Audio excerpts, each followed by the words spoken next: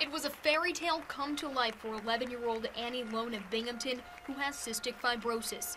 For one day, she's Princess Annie, receiving the royal treatment at Canastota's Greystone Castle thanks to the Make a Wish Foundation. This is it right here. This is what Make a Wish is about to have something so magical and such a, a really special, unique kind of wish and, and such a special little girl. Annie's wish to dance with a real prince was granted as she took to the dance floor with Italian prince and former Bachelor contestant Lorenzo Borghese. You wish to dance with a prince, meaning that you know you are already a princess. Also there to celebrate was Canastota Mayor Carla Duchamp, who presented Annie with the key to the magical kingdom of Canastota. We are very um, community minded and we heard the story when they had called us and asked us. Uh, we were elated to, to be, you know, to have her in our village. Duchamp was just one of several people helping to make Annie's wish a reality. Everything about Annie's fairy tale night has been planned for months, from the invitations to the decorations to the cake.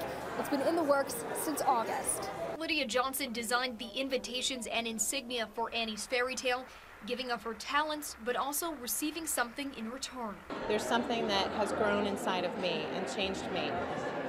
And I hope to do more projects like this that benefit children. Hoping to give other kids like Annie a once in a lifetime experience.